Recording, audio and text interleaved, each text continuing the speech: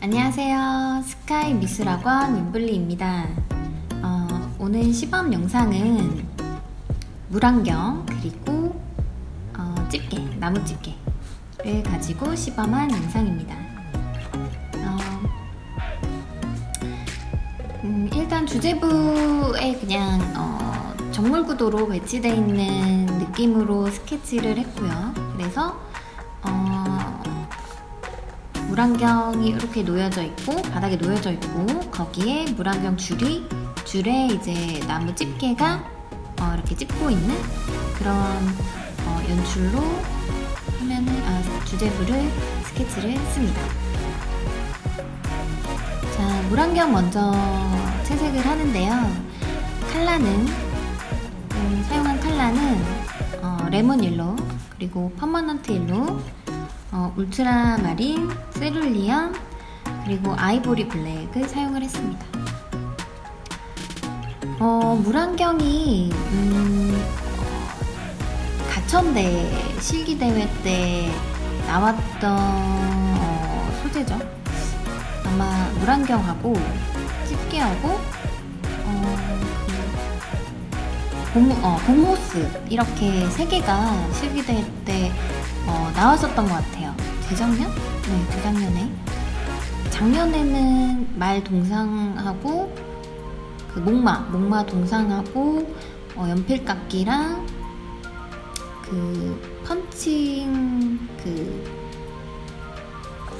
어, 펀칭 이 찍는 찍는 거 그게 나왔었는데 말동상은 되게 어려워했던 기억이 나요 친구들이 실기대에 나갔던 친구들이 그리고 재작년에는 이제 물안경 하고 어, 집게가 봄모스랑 나왔었는데 어, 가천대가 3절이에요 실기대가. 3절인데 어, 4시간밖에 안 돼서 되게 어, 시간을 잘 체크를 해서 어, 시험을 치지 않으면 진짜 미완성하고 나올 수도 있거든요. 그래서 가천대는 좀 빠르게 효과적으로 그릴 수 있는 방법으로 준비를 하셔야 될 것 같아요. 이번에 어, 실기대 일정이 거의 뭐 거의 없긴 한데 지금 코로나 때문에 거의 없긴 한데 이번에 한다고 했다가 다시 그 가천대학교에서 또 확진자가 나오는 바람에 연기가 됐죠.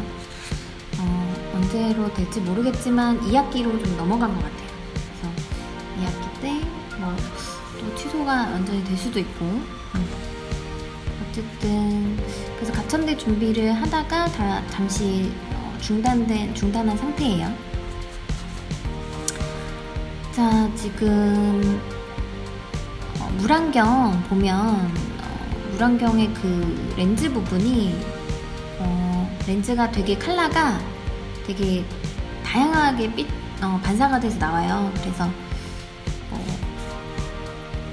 지금 한 컬러는 약간 푸른 계열, 푸른 계열, 약간 초록색에서 푸른 계열로 빠지는 느낌으로 해줬는데 일단 초벌로 어, lemon yellow 그리고 어, permanent yellow로 어, 밑색을 좀 발라주고 근데 밑색 바를 때 어, 약간 사선으로 좀 반듯반듯하게 어, brushing을 좀 했어요. 유리기 때문에 그 표면이 매끈매끈하죠. 그래서 어, 좀 쭉쭉 brushing을 깔끔하게 하는 게 중요할 것 같아요. 그렇게 칠해주고 나서 어, cerulean 어, 그 레몬 옐로에 약간 세룰리언을 섞으면 좀 청록색이 되게 발색이 이쁘게 나오거든요. 그래서 그 톤을 이용해서 또 중간 면칠도 해주고 그다음 푸른 계열 그 세룰리언에서 울트라마린으로 빠질 수 있게 톤을 풀어주시면 됩니다. 일단 넓게 유리로 그 되는 영역에는 넓게 일단 초벌을 다 발라주고 그 다음에 이제 꺾인 면 모서리를 다 찾아주고 있거든요. 어, 꺾인 면에는 이제 그 울트라 마린에 어, 인디고 그리고 조금 더 진한 모서리에는 블랙까지 좀 써서 잡아줬어요. 그래서 어, 물안경 맞아 형태 좀 스케치를 어려워하는 어, 어려워요 처음에 뜨면은 그래서 이거 구조에 대해서 좀 분석을 좀 잘 하시고 넘어가시는 게 중요 어, 좀 필요할 것 같아요. 음, 꺾인 면이나 그 그러니까 고무 마킹이 돼 있고 이게 얼굴에 쓰는 거기 때문에 고무 마킹이 좀 돼 있고 그 다음에 이제 투명하게 어, 렌즈가 이렇게 있는 거거든요. 그 다음에 그 부분이랑 약간 그 양쪽의 렌즈를 연결되는 그 연결되는 부분하고 그리고 그 줄에서도 음, 그줄 길이 조절하는 부분 있잖아요. 그래서 그 부분에 어, 구조가 어떻게 생겼는지 그것도 좀잘 어, 보고 스케치를 많이 해보셔야 될 것 같아요. 그래서 그 꺾인 면 위주로 일단 어, 어두운 면 잡아주고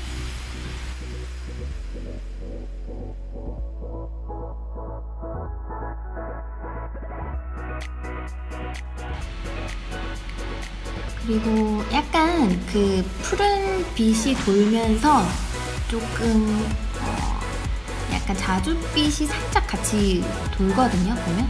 그래서 그 부분에 색감을 조금 더 얹어줬어요. 그래서 색감 자체가 좀 더 다채롭게 나오게 어, 해주셔야 될 것 같아요. 파리 눈, 파리 눈처럼 제가 칠한 것보다 조금 더 어, 연하게 가셔도 돼요. 어, 만약에 제시 이미지가 조금 더 이런 색감이 좀 덜 보이는 물안경일 경우에는 조금 더 맑게 칠하셔도 될 것 같아요.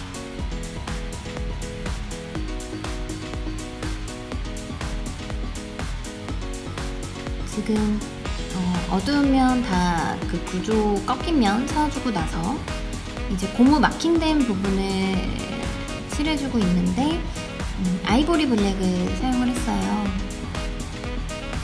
그 아이보리 블랙이 살짝 어, 어, 약간 세피아를 좀 섞은 느낌의 블랙인데 음,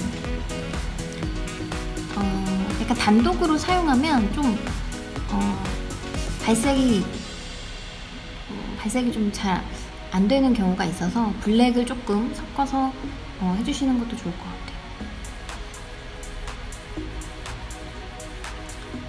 그래서 일단 까만 줄과 까만 어, 고무 마킹이 돼 있기 때문에 그 부분은 일단 블랙 계열로 다 밀어서 어, 칠해 주시면 됩니다.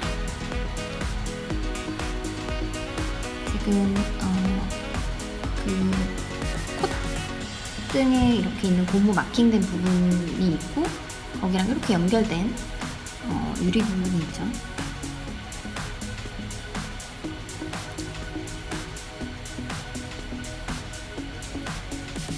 음, 이게 줄이 어, 뒷 어, 물안경 줄도 보면 자세히 관찰해 보면 한 줄로 가다가 약간 그 뒤쪽 두상 쪽에 좀 이렇게 고정을 양쪽으로 될 수 있게 또 두 갈래로 살짝 나눠져요. 그래서 그 부분도 음, 좀 다시 보면서 드로잉을 좀 해보셔야 될 것 같아요. 이게 한 줄로 돼 있지 않거든요.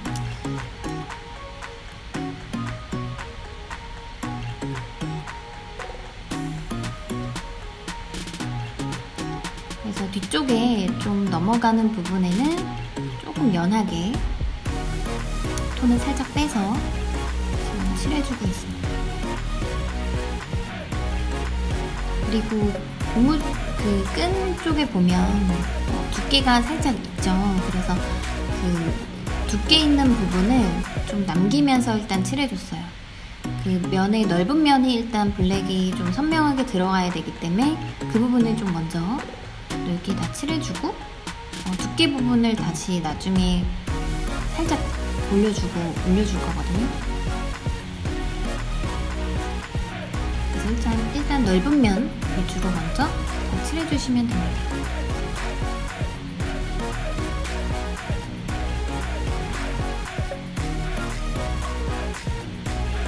어, 뭐 앞뒤 겹치고 이런 거는 지금 일단 크게 신경 쓰지 마시고 일단 면 자체를 다 어, 칠해 칠해주세요. 그리고 나서 이제 떨어뜨리면 되니까 이렇게 끈 부분 다 칠해주고 있습니다.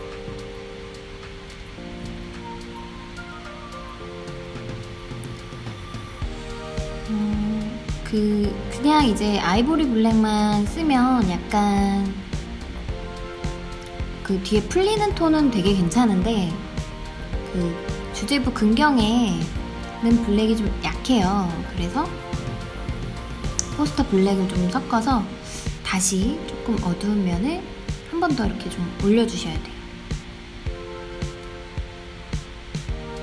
그래서 앞쪽 black line하고 뒤쪽하고 좀 차이가 나게 black을 떨어뜨려 주시면 될 것 같아요.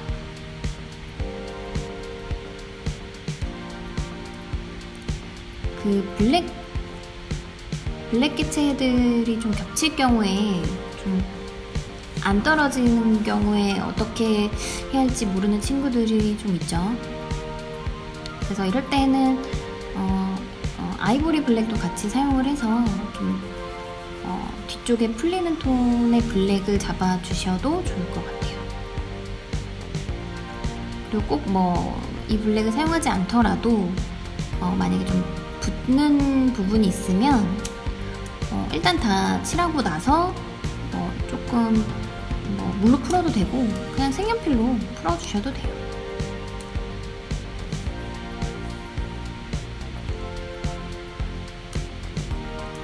자, 끈을 다 칠하고 이제 조금 더 마감을 해주고 있습니다. 불안경 그 렌즈 부분에.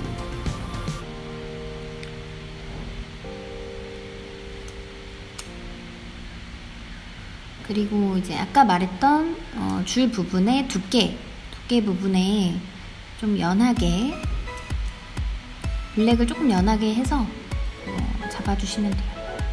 그래서 그 꺾인 면의 두께가 있다는 것만 좀 보여줄 수 있게.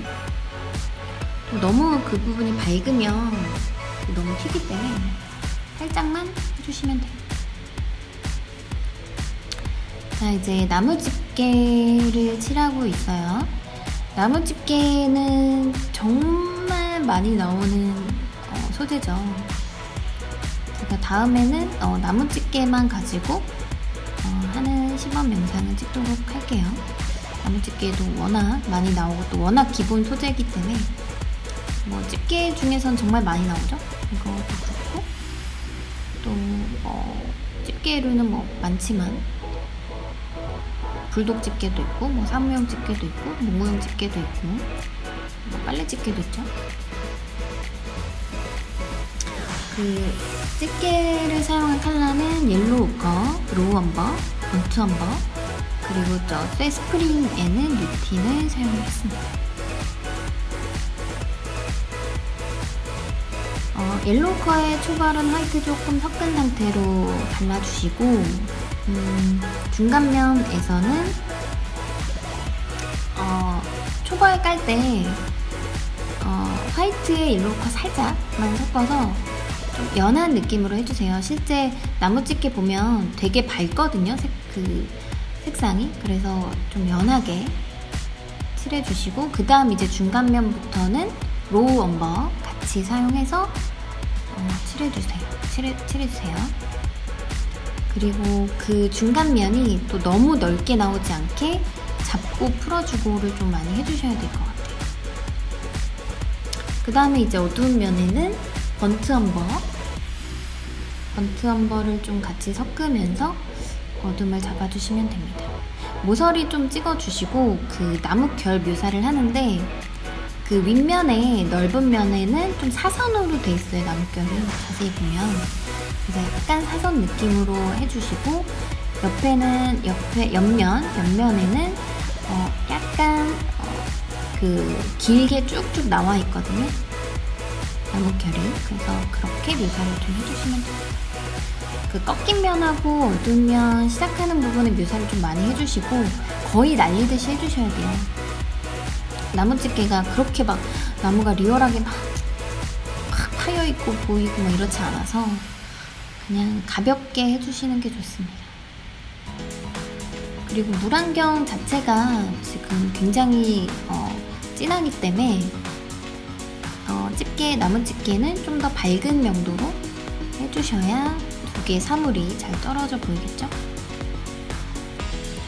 그리고 이 스웨 스프링은 어, 뉴틴으로 바로 칠해줬어요. 그 얇기 때문에 어두운 면을 많이 바로 찍으면서 하시면 금방 하실 수 있습니 그래서 나무 집게는 일단 형태가 어, 안 틀리게 형태를 안 틀리게 좀 어, 많이 연습을 좀 해주세요. 이 집게 연습 하나 잘하면 다른 집게는 또 쉽게 할 수 있으니까 자 집게를 다 하고 나서 이제 물안경에 그 화이트 라인을 좀 찍어줘야 되는데요. 어, 화이트 라인 찍기 전에 일단 밑색 초벌을 좀 어, 발색을 많이 밝게 해놓은 상태이기 때문에 일단 물로 좀 닦아내면서 어, 그빛 받는 부분을 체크를 좀 해줬어요.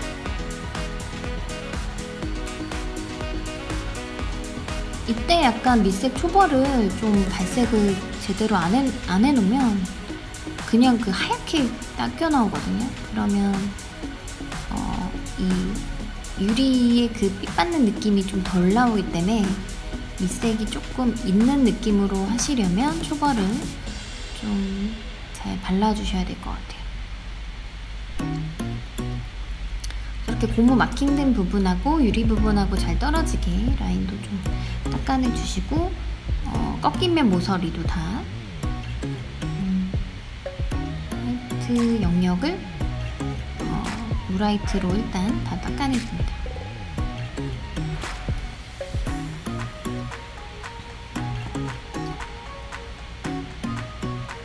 화이트 찍을 때 어, 너무 많이 막 결을 쳐서 유리라고 해서 보통 유리를 할 때도 너무 과하게 막 결을 막 살려서 찍는 친구들이 있는데 너무 그러면 좀 약간 인위적인 느낌이 나거든요. 그래서 진짜 빛 받는 부분 딱 강하게 찍히는 화이트 부분을 하나 딱 잡아주고 그 주변에는 정말 연하고 약간 얇게 찍어서 처리를 하는 게 훨씬 좋을 것 같아요. 요새도 트렌드가 너무 그 인위적인 표현보다는 어, 좀 자연스러운 어, 실제 사물의 느낌을 좀 살리는 표현이 좀더 어, 그런 게 또 중요하기 때문에 너무 과하게 하지 마시고 음, 그 하이라이트 부분만 위주로 좀 찍어주시면 될 것 같아요. 그리고 화이트 찍을 때도 너무 그, 나 화이트 찍었어 이렇게 너무 티나게 하지 마시고 살짝 풀어주면서 좀 은은하게 해주시는 게 좋습니다.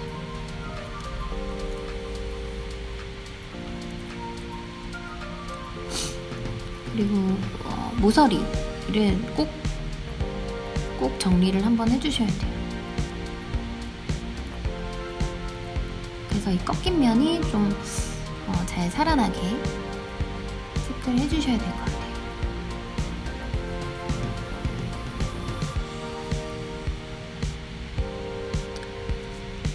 지금 바바라 어, 세필 붓으로 모서리 정리를 해주고 있습니다.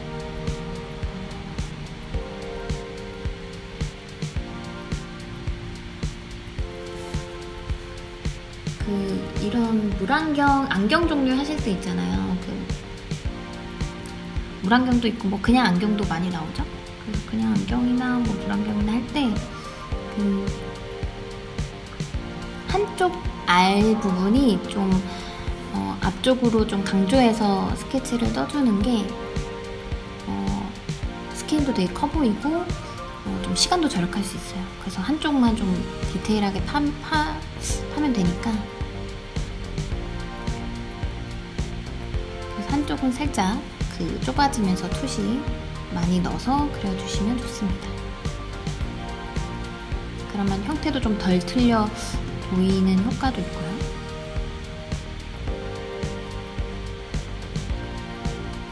지금 구조상으로 그 꺾여 있는 면 화이트 찍어주고 약간 그 반사돼 뒤에 비쳐서 반사되는 부분에 화이트도 계속 찍어주고 있어요.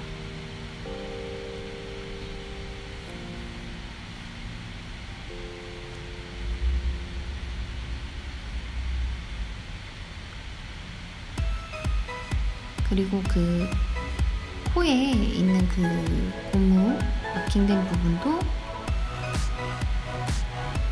아 요건 또 살짝 그 빛이 반들반들하게 비치기 때문에 거기도 조금 풀어서 찍어줬습니다.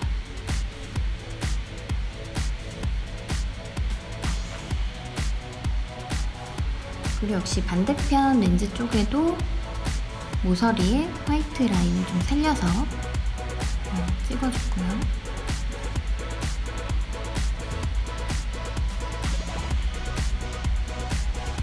그러면서 그 렌즈 부분하고 그 고무 부분하고 좀 어, 정확히 떨어지게 라인을 좀 정리를 해주셔야 돼요.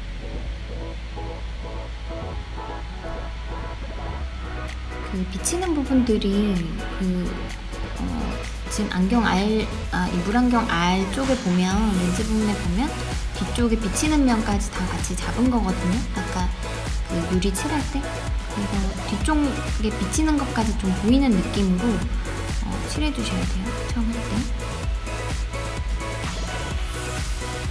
어쨌든 투명한 유리이기 때문에 어, 뒤에 있는 것들이 좀 비치겠죠. 그리고 이제 고무 마킹된 부분에 살짝 삐 받는 부분에 좀 정리를 해주고 있어요. 이게 광택이 나는 그 고무라서 좀 광 있는 부분을 살려주시면 좋아요. 그리고 이제 거의 마무리 단계인데요. 어, 그림자. 그림자. 자, 요거 같은 경우는 어, 그림자가 그 색감이 다 비쳐요. 그 이 렌즈 자체가 어, 투명한데 색감이 좀 다양하게 나오는 어, 유리라서 음, 빛이 그 색감을 다 비치거든, 비치게 투과가 되거든요. 그래서 그 부분까지 생각하면서 이 색감을 같이 넣어주셔야 돼요. 이건 바닥에 비쳤을 때도 그렇고 뭐 나무집게가 만약 근경이 크게 들어가거나 밑에 어쨌든 깔려 있으면 그 비치는 그림자 할 때 그 비치는 색감을 꼭 같이 넣어주셔야 될 것 같아요. 그러면 조금 더 사실적인 느낌이 나겠죠?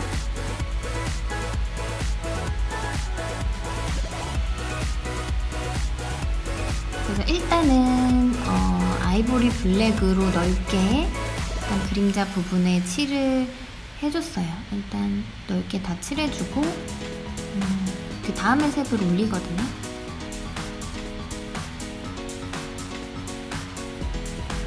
그림자는 항상 끝에 살짝 풀리게 풀리는 느낌으로 해주셔야 돼요. 이게 너무 라인이 따져버리면 오히려 그림자 같은 느낌이 안 들기 때문에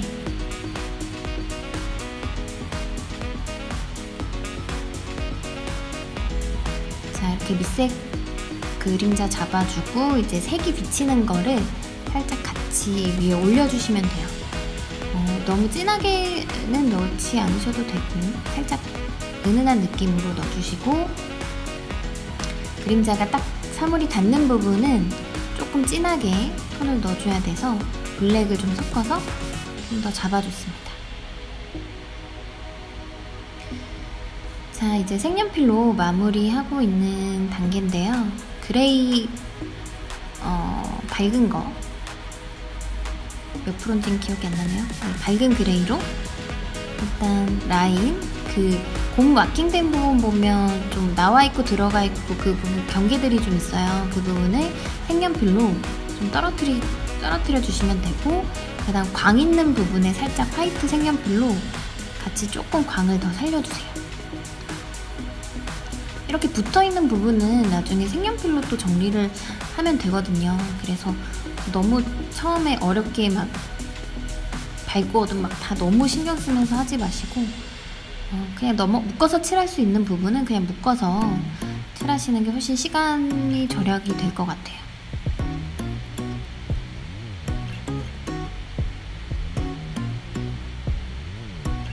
그래서 지금 좀 붙어 있는 부분하고 정리 좀 덜 된 부분은 계속 색연필로 조금씩 마무리를 해주고 있습니다.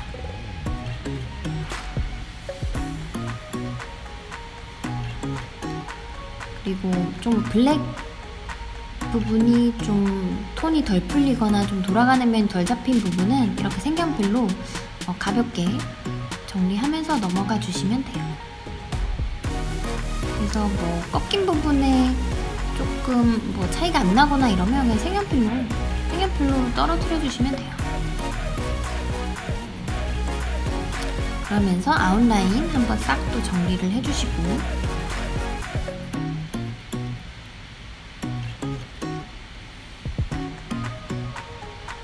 마무리의 시간을 좀 많이 공을 들여서 해주시는 게 좋습니다. 이렇게 정리 안 된 거 있으면 싹 정리를 해주시고 그리고 그림자는 마카로 마무리할 때꼭 그 풀어주셔야 돼요. 이렇게 그 물감으로만 하고 그냥 끝내면 브러싱 자국이 좀 많이 나서 어, 마카로 좀 풀어주시는 게 좋습니다.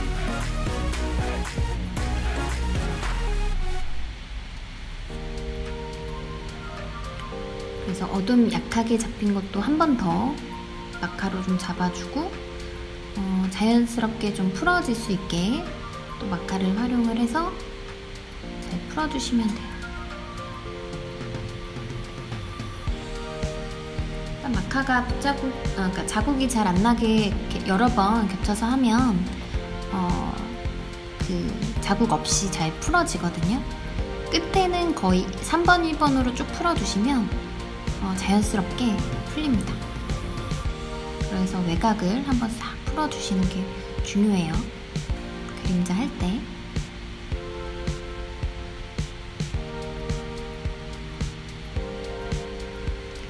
그래서 계속 풀어주면서 음, 정리해주시고 저렇게 나무 그 집게에 살짝 비치는 그림자도 자연스럽게 마카로 넣어주시고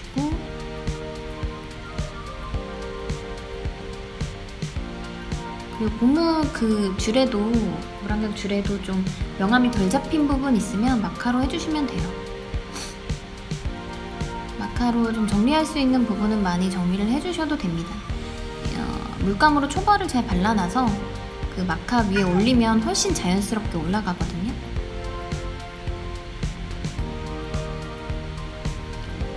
자국 좀 심하거나 이런 부분 있으면 특히 무채색 계열 할 때는 마카를, 마카를 많이 사용을 해주시는 게 좋을 것 같아요. 자, 이제 거의 끝나가네요. 계속 아웃라인 정리해주고 있죠.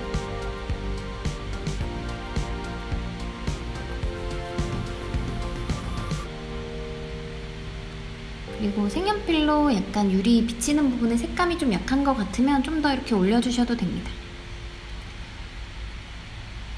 색연필도 워낙 그 고체도 색상이 많기 때문에